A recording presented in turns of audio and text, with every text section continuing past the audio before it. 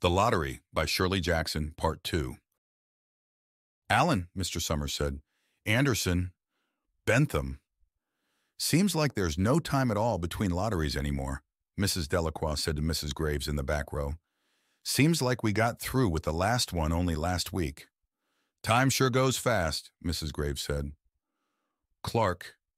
Delacroix. There goes my old man, Mrs. Delacroix said. She held her breath while her husband went forward.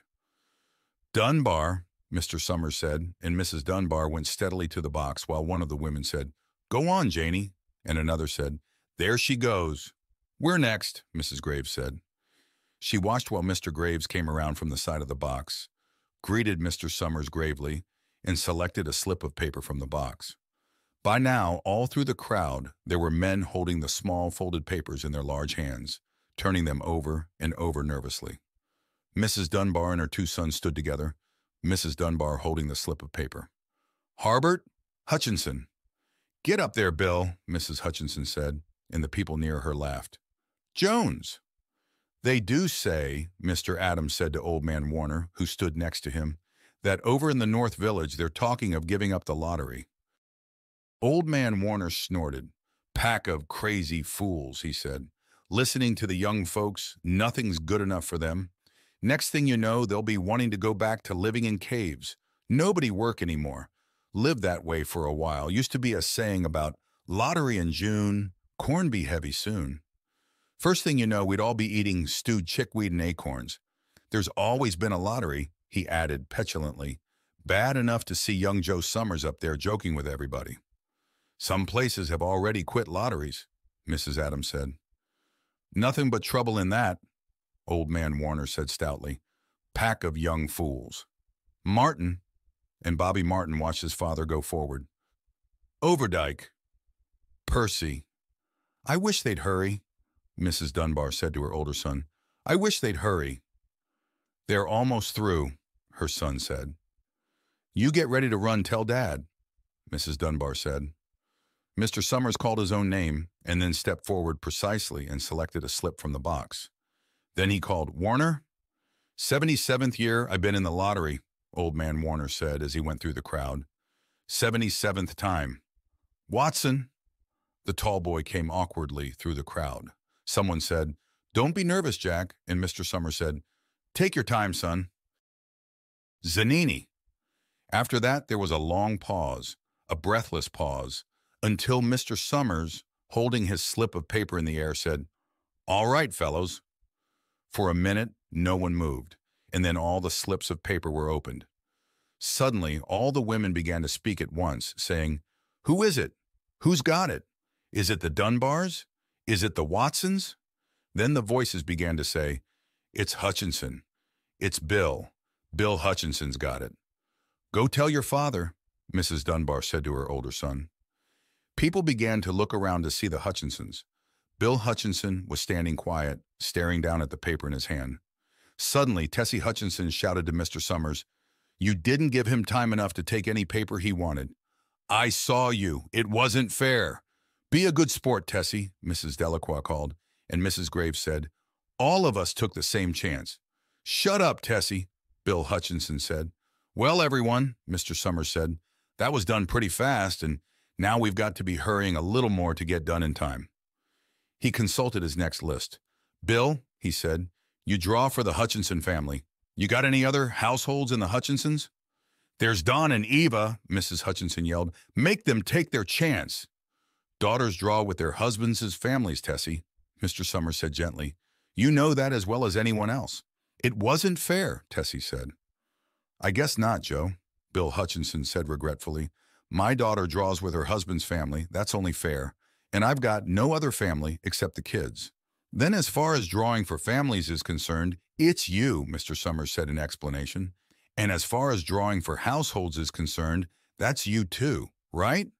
Right, Bill Hutchinson said. How many kids, Bill? Mr. Summers asked formally. Three, Bill Hutchinson said. There's Bill Jr. and Nancy and little Dave and Tessie and me.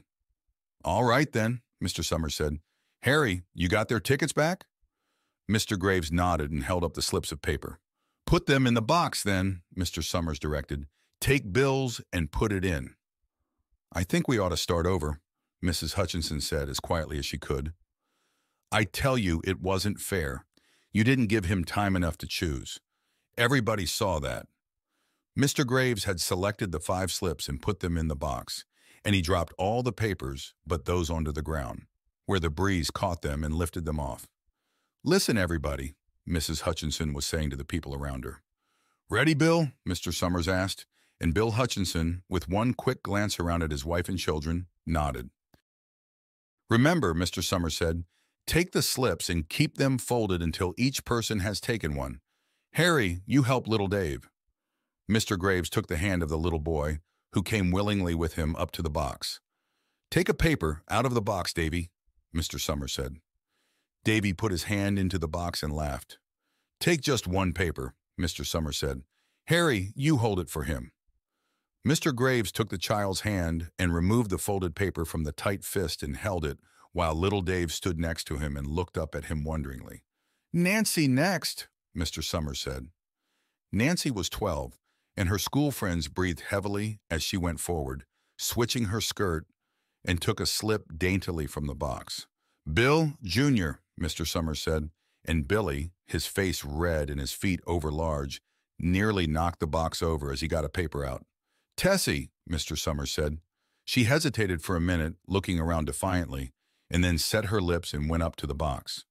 She snatched a paper out and held it behind her.